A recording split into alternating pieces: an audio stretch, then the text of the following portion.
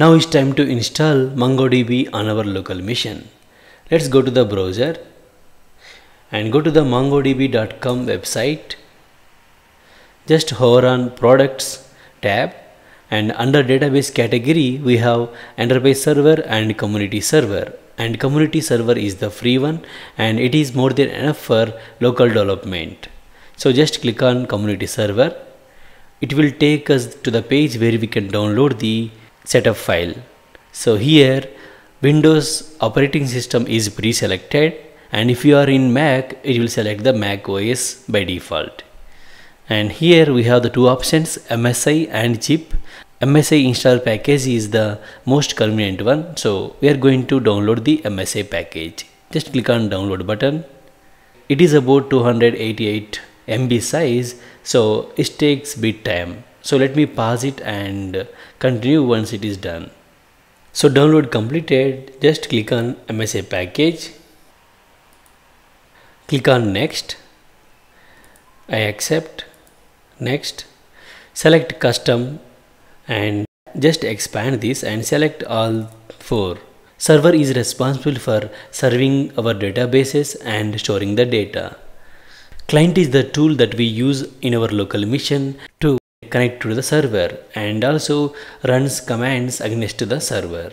Now just click on next.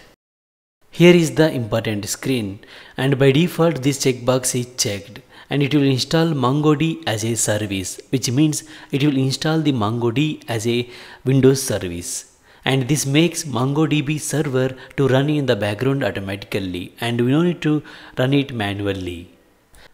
Data directory path like any other databases, MongoDB2 stores the data somewhere on your system. It manages the data storage for you, but ultimately it will end up storing the data in the files in your system.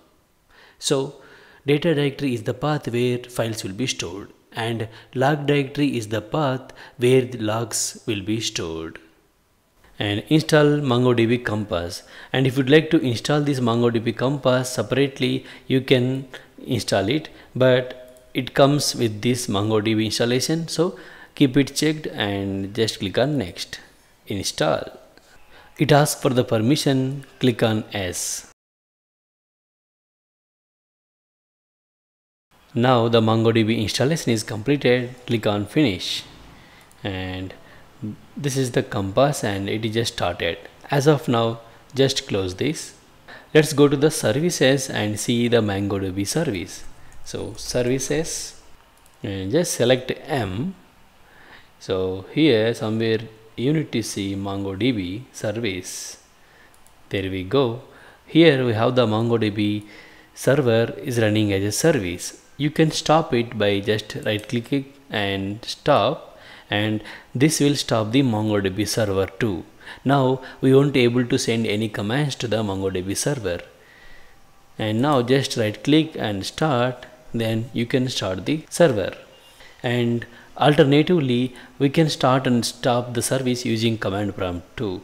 So open the command prompt as a administrator, right click, run as administrator and just use the command net stop MongoDB and it will stop the MongoDB service. MongoDB server service was stopped successfully and to start it simply we can say instead of stop simply say start and it is going to start the MongoDB service. There we go the MongoDB server service was started successfully.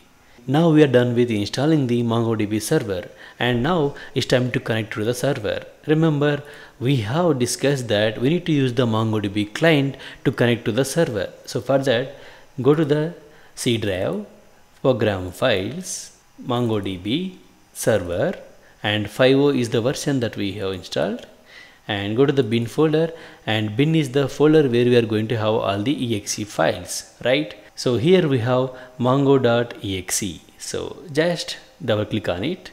So we have launched our client.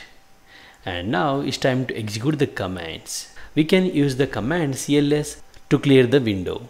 Here we can use the command show dbs and this is going to show all the databases that were already installed. Press enter it's going to show the dbs like admin config local and these are all used for the configuration of the mongodb server or mongodb database. So now we have successfully connected to the mongodb server and